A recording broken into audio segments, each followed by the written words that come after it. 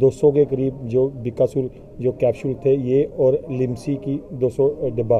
तो ये इनको इन्होंने मेरे से कल ही बात की और मैंने स्पेशल मेरे दोस्त हैं संदीप कंसल जी जो दिल्ली में हैं और उन्होंने ये मुझे कटरा के जो जितने यहाँ पुलिस स्टेशन के जो नाके हैं या इनके क्वारंटाइन सेंटर हैं या जगह जगह ये जो पुलिस के लोग जो हैं ड्यूटियाँ करते हैं, ये उन लोगों के लिए दवाइयाँ हैं जिससे ये जो ये बीमारी है उससे लड़ने के लिए।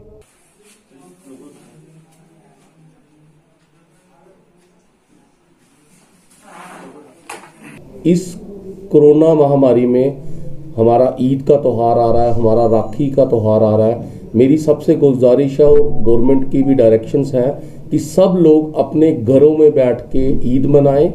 कोई भी आदमी गैदरिंग करके नमाज़ ना पढ़े।